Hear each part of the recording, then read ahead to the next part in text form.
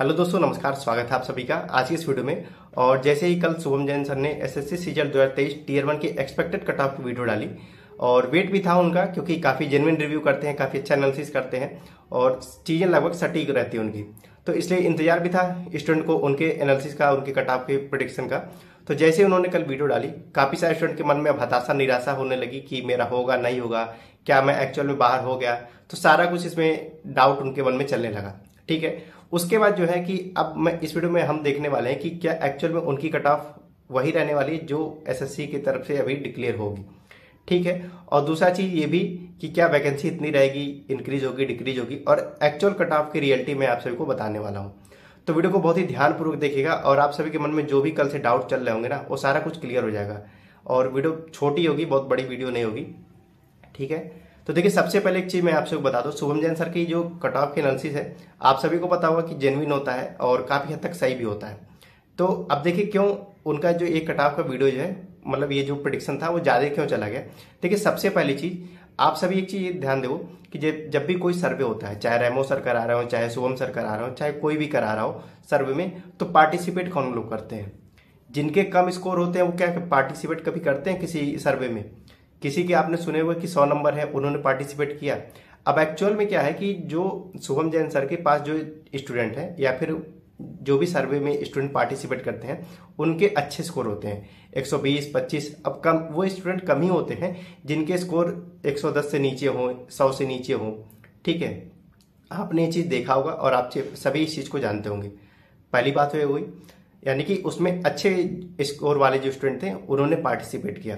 दूसरा क्या होता है कि देखिए, एक चीज़ है कि जब लिमिटेड डाटा होता है, पूरा डाटा किसी के पास नहीं है, चाहे रेमो सर हो गए, चाहे वो शुभम जैन सर हो गए, चाहे रैंक आई क्यू क्यों ना हो गई। ठीक है? अब आपने देखा होगा कि जो रैंक आई क्यू का जो डाटा है, वो एक लाख अट्ठाईस हज़ार का है। ठीक है? और रेमो सर का जो डाटा था, वो 25 से 30 हज़ार के आसपास था उनका। और शुभम जैन सर का जो एक्चुअल जो कल उन्होंने सर्वे डाला, उनमें था कि छियालीस हज़ार कैंडिडेट पार्टिसिपेट किए थे, जिसमें फेक एंट्री अगर हटाने के बाद देखा जाए तो उसके बाद उनके पास जो एक्चुअल रियल एंट्री थी, वो पैंतालीस हज़ार समथिंग थी। ठीक है? और आप सभी को पता होगा कि जो आपका जो फॉर्म भरा गया था एस एस सी दो हज़ार तेईस टीयर वन में, उसमें फॉर्म भरा गया था चौबीस लाख समथिंग थी। ठीक है? और चौबीस लाख में अगर मान लीजिए सी आर रीजन में आपने देखा हो जब कुछ दिन पहले एक पेपर में आया था, जब जिस दिन पेपर खत्म हुआ था, उसमें 51 परसेंट अटेंडेंस थी, यानी कि यूपी और बिहार की। अब अगर इनको हटा दिया जाए ना अगर सारा एक ओवरऑल देखा जाए तो जो भी ट्रेंड रहा है शशि के, कभी भी 45 प्लस 45 परसेंट से अधिक अटेंडेंस नहीं रही होगी। तो आप सभी इस चीज़ को पता होगा कि 10 से 12 10 से 9 आठ, नौ से 10 लाख लोग स्टूडेंट जो है पेपर दिए होंगे। तो एक्चुअल डाटा तो एसएससी के पास है कि कितने लोग पेपर दिए और एक्चुअल डाटा ये भी एसएससी के पास है कि कितने एवरेज मार्क्स बनना है, कितने, ठीक है हाईएस्ट मार्क्स बनना है। सारा कुछ उसके पास है। अब शुभम जैन सर के जो था, वो पैंतालीस हज़ार का डाटा था, रेमो सर का पच्चीस, तीस हज़ार का, और एक लगभग जो है, जो अच्छा डाटा है, रैंक आई के पास। ठीक है, पहली चीज़, दूसरी चीज़ हो गई। अब तीसरी चीज़ क्या हो गई कि देखिए, वैकें, शुभम जैन सर ने जो अभी ये जो कटाव का प्रोडिक्शन किया है, उन्होंने दस गुना मान के चला है। अब देखिए, क्यों दस गुना लिया जा सकता है या फिर नहीं लिया जा सकता है? देखिए, सबसे पहली चीज़ मैं आप सबको बता दूँ, जो सी एच अब काफ़ी सारे लोग कंपैरिजन इसको कर रहे हैं सी एच एस एल दो हज़ार बाईस से। अब देखिए सी एच एस एल में वैकेंसी कम थी। आप सभी ने कभी भी देखा होगा, जो सी एच एस एल में वैकेंसी जो भी रही हो, कभी भी उसकी कट ऑफ़ जो वन थर्टी फाइव से नीचे कभी नहीं आई है। सीजल में एक बार जो है, केवल कट ऑफ़ 147 गई थी, कब गई थी? 2019 में। उसमें क्यों गई थी? क्योंकि नॉर्मलाइजेशन में ज़्यादा मार्क्स बढ़े थे वहाँ पे। आप सभी को पता होगा। और रही बात, देखिए सी एच एस एल से कंपेरिजन सीजल का करना बहुत ही गलत है। अब देखिए, काफ़ी सारे लोग इस चीज़ को भी कंपेरिजन कर रहे होंगे कि 2021 से लेकर 2023 को। ठीक है 2022 से कोई कंपेरिजन नहीं हो सकती क्योंकि अभी वैकेंसी ज़्यादा थी। लेकिन 21 से कंपेरिजन भी करना आसान चीज़ नहीं है और अच्छी भी चीज़ नहीं, क्योंकि देखिए, इक्कीस में दूसरी चीज़ थी कि वहाँ पे ये होता था कि मुझे अच्छे मार्क्स लाने अच्छे मार्क्स लाने हैं। तब जाके वहाँ पे चीज़ें ऐसी थी। लेकिन इस दो हज़ार तेईस में अगर देखा जाए तो अब स्टूडेंट के मन में ये चीज़ नहीं कि मुझे ज़्यादा मार्क्स लाने हैं। मुझे बस क्वालिफाई करना, ये एक माइंडसेट होता है। और आप सभी ने देखा होगा 2021 का जो पेपर था रीजनिंग आप सभी शुभम जैन सर के टेलीग्राम चैनल पे जाके देखिएगा आपको मिल जाएगा। सब कुछ मिल जाएगा कि रीजनिंग का पेपर कैसा था इंग्लिश मतलब पूरा पेपर मिलेगा। आपने वहाँ पे देखा अभी जो इस समय जो शुभम जैन सर ने वीडियो डाली है उसमें रीजनिंग में एवरेज मार्क्स 41 बन रहे हैं। और वहाँ पे था कि एवरेज मार्क्स 45, 44 इस तरह बन रहे थे। 2021 में। और अगर मैथ की बात करें 2021 में तो देखिए, मैथ में इस बार पेपर डिफ़िकल्ट नहीं हो गया है, बस ये लैंग्वेज थोड़ा सा ट्विस्ट करना शुरू कर दिया है। तो अगर उसके कंपेरिजन में देखा जाए तो अब देखिए 21 में क्या चीज़ें थी और तेईस में क्या चीज़ें हैं, वो चीज़ें ज़मीन आसमान का अंतर इसलिए ही हो जाता है पहली चीज़ यही होती है कि जैसे ही वहाँ पे था कि टीयर वन, टीयर टू सारे कुछ हुए, कैलकुलेट किए जाते थे, लेकिन यहाँ पे केवल क्वालिफाइंग करना है टीयर वन को। तो दूसरी चीज़ें हो जाती हैं ये। और आप सभी को पता होगा 2023 जो 21 का जो कंपैरिजन चल रहा है 2021 में वैकेंसी ठीक है, उतनी अभी रिपोर्ट की गई है। लेकिन आप सभी को मैं बता दूँ, अभी आप इस समय आरटीआई में देख रहे होंगे, सात हज़ार छह सौ तो सात ही थी, लेकिन अभी अकाउंटेंट की वैकेंसी बढ़ गई है। दूसरा, अभी पीएससी की वैकेंसी उसमें ज़ीरो दी है, जब जब से ये नोटिफिकेशन रिलीज़ हुआ है।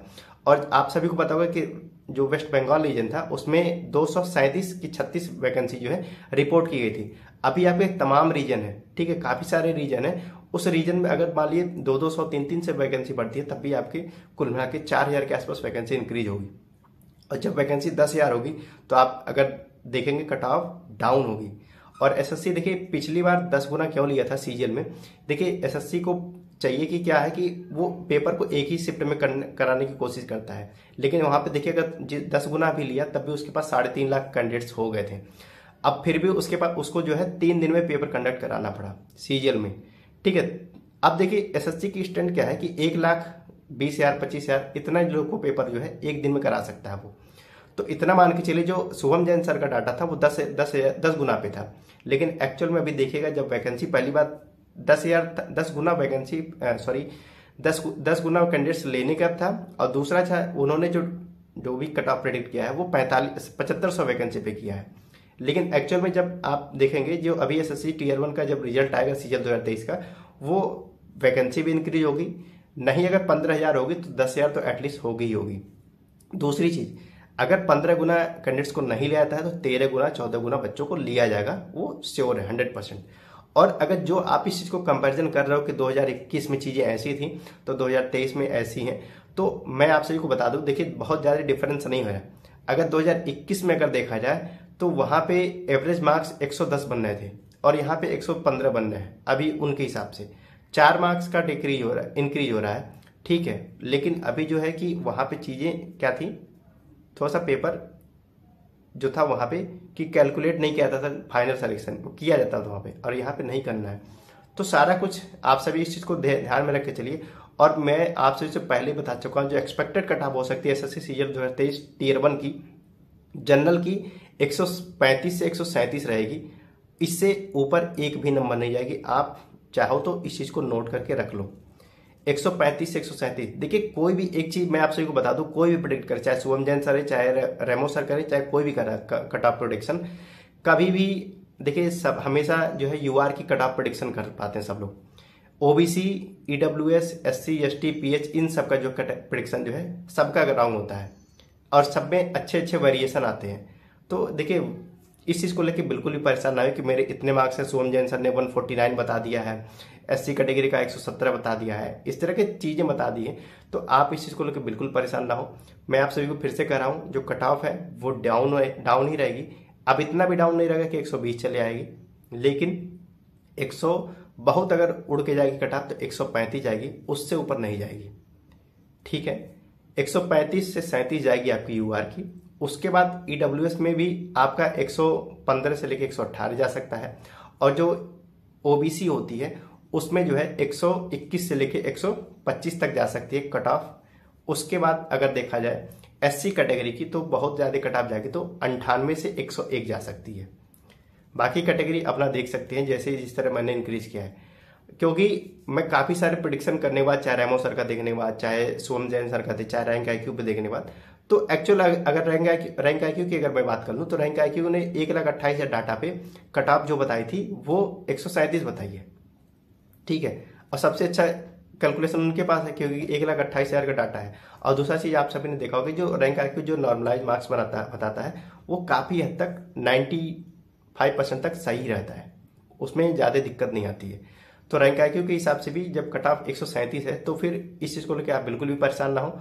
और जिनके मन में इस चीज़ को लेकर डाउट चल रहा है, वो उम्मीद करता हूँ अब चीज़ें क्लियर हो गई शाम को मैं एक वीडियो बनाऊँगा जिसमें आप सभी को मैं कंपैरिजन करके दिखाऊँगा rank I Q Remo sir का, सोम जैन सर का। उसके बाद उम्मीद करता हूँ आपके मन में ये कटाव को लेकर जो फोबिया चल रहा है, वो खत्म हो जाना चाहिए। और अगर आप उस रेंज में आएँगे तो आप अपने मेंस की तैयारी करिए अदरवाइज़ आप अपने आगे की एग्जामिनेशन की तैयारी करिए। बहुत ज़्यादा दिन सीजल 2024 में नहीं है, आप सभी को पता हुआ जैसे अभी आपका 2022 का पेपर बीता नहीं, कि आप 2023 का जो पेपर देखे और आंसर की भी पा चुके हैं। पता नहीं चला होगा आपको। तो इसलिए आप सभी बिल्कुल भी इस चीज़ को लेकर टाइम वेस्ट ना करें कि कट ऑफ़ कितनी जाएगी कितनी जाएगी। शाम को मैं एक जो वीडियो बनाऊँगा, उसमें एक्चुअल में आपसे कि डाउट क्लियर हो जाने चाहिए। और उसके बाद उम्मीद करता हूँ आप सभी अगर उस रेंज में आ रहे हो तो अपने मेन्स की तैयारी करिएगा। ठीक है? तो उम्मीद करता हूँ आप चीज़ों को समझ गए होंगे कि शुभम जैन सर का कट ऑफ़ इतना हाई क्यों गया है। और ज़्यादातर चीज़ें अब वही रहने वाली जो मैं आपसे को बता रहा हूँ। ठीक है? तो इस वीडियो में इतना ही दोस्तों, और फिर से आप सभी से कहूँगा, अगर चैनल पर नए चैनल को ज़रूर सब्सक्राइब करिए बेलाइकन ज़रूर प्रेस करिए, और वीडियो को ज़्यादा से ज़्यादा शेयर कीजिएगा। Thank you